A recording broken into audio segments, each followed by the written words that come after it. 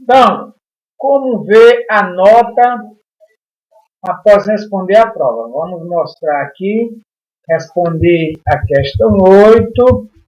Vamos responder a questão 9, no caso a última questão.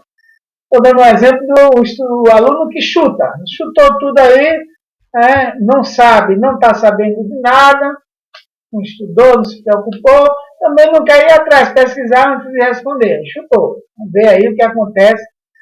Deu um chute aí. Então, terminou a última questão, clique em enviar. Essa ferramenta do Google, Google Formulário, é maravilhosa. Enviar, chega até a mim diretamente, e agora você já vai ver sua nota de imediato, ver sua nota e seus acertos. Ó. Está processando, está enviando. Ah, próxima tela, ver pontuação, quer ver sua nota. Então, vamos lá. Clica aqui, ver pontuação, né? E vamos lá. Vai sair sua notinha, para você ter uma base, como é que está a sua aprendizagem, como é que está seu estudo, né?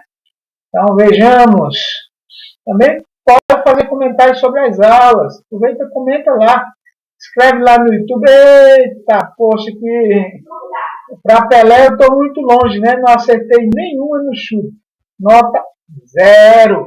Então, cuidado aí, pequeno gafanhoto, que cuide, estuda mais, fora mais o professor, tira mais dúvida, ok? E que Deus nos dê saúde e paz. E o resto a gente corre atrás.